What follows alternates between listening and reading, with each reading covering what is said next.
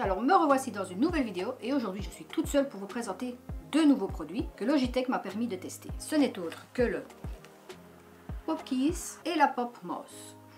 Alors tout d'abord je vais commencer avec le clavier qui est autre que celui-ci, version jaune et noire. Il y a trois versions. Il y a la version vert et mauve et deux teintes de rose. Ce qui est super, c'est qu'on peut changer et personnaliser les emojis qui sont ici sur le côté, qui s'enlèvent très facilement. Euh, on prend un des trois.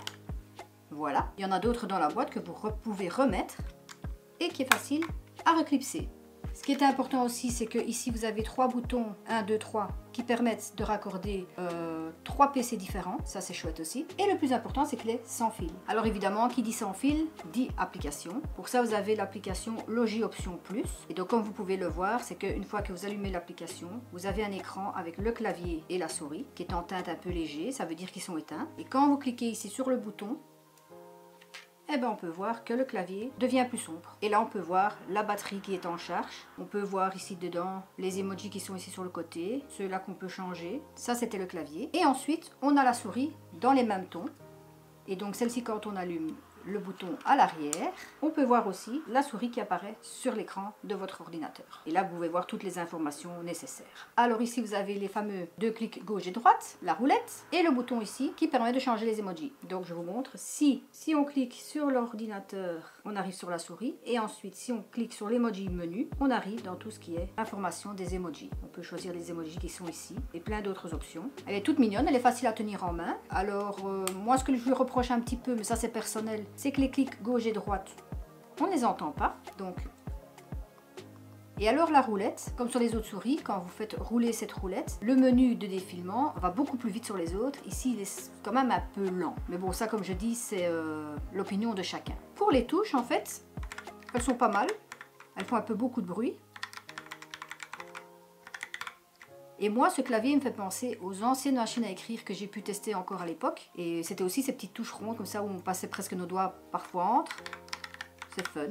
En ce qui concerne les claviers, je vais prendre mes petites notes. C'est que pour les couleurs, donc vous avez celui-ci qui est le Blast. Les deux options de rose s'appellent... Oups, vous voyez, je ne l'ai pas éteint et du coup, je fais des gaffes. En ce qui concerne les deux teintes de rose, ça s'appelle le Airbreaker. Et la teinte de mauve et vert, c'est le Daydream. Donc si vous voulez les, couleurs, voilà les trois options de couleurs. Moi, honnêtement, ce clavier, il est très facile d'utilisation.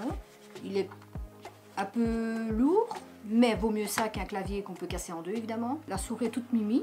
Euh, pour vous dire que le clavier a deux piles, deux piles AA d'une autonomie de 36 mois. La souris en a une d'une autonomie de 24 mois. Et ils sont à portée de 10 mètres. Ça veut dire que vous pouvez euh, un large panel. Quoi. Que le clavier fait un poids de 779 grammes et la souris de 82 grammes. Évidemment, on sent la différence de la souris et du clavier.